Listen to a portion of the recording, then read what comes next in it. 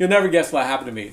So, my daughter Priscilla, who's in the ninth grade at Gull Lake High School in Michigan, sends me a text. And this is that text that every dad hates to see. Dad, there's a kid with a gun in his backpack sitting right behind me in math class. What should I do? I'll tell you the ending of that story in just a minute. Same thing happened two years ago. I get another series of texts.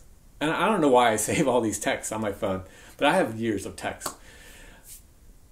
But this is what I experienced that Saturday morning. My daughter and my wife were at the Beachwood Mall in Cleveland, Ohio, when a shooter decides to show up. And here's the text that I received from my daughter as she was, my wife was too panicked to text me. That was two strikes for me. I'm not waiting for the third ball. And enough for me to take action and create what I call the gunshot box. Yes, thankfully, I was fortunate that the outcome was good in our situation for our family. Unlike the Sutherland Springs pastor Frank Pomeroy, who lost his 14 year old daughter and about 25 other parishioners that Sunday morning in Texas. Well, to finish the stories, the principal at the high school, thankfully, was able to de escalate the student situation and remove the firearm before discharge. And in the mall shooting, that ended up with, I don't know, two or three injuries, nothing too serious.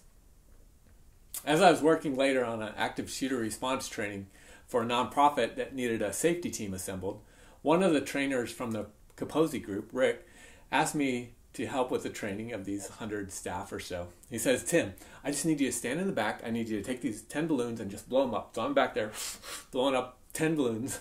And he said, when I say the code word, any more questions? That's your cue to initiate the popping of the balloons. So I'm back there, I get the code word, I'm popping the balloons, and I'm like, this is not very realistic. And that's when the gunshot box was born. The idea really came from that. The gunshot box creates recreates gunshots electronically with a real flash and about 125 decibel bang, and it doesn't use speakers or amplifiers. Uh, for force on force training, the instructors have appreciated the ability to remotely control the timing as they're running the trainees through the drills and just being able to have the control and on demand explosions or gunshots. But if you're like me, our biggest concern is making sure that we have done everything in our ability to protect the folks under our watch. And when a bad day occurs, we will be able to sleep at night knowing that we did our best and utilized all our resources to protect those around us. Our goal at Scenario Trainer Inc. is to equip and prepare heroes like yourself, and together we'll save lives. Thanks for hearing my story, and in the next 90 seconds, I want to show you what the gunshot box can do for your training.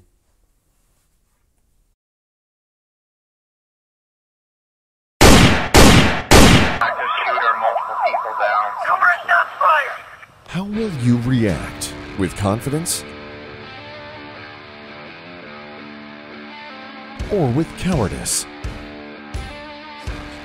Rehearse your reactions on location.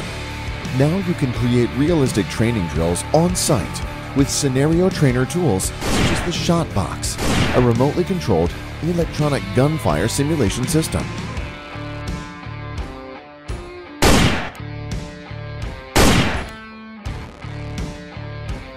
Prior to the Shot Box, we simulated gunshots by smacking boards together, popping balloons, firing starter pistols, or using costly non-lethal training ammo, blanks, or even dry firing paintball markers.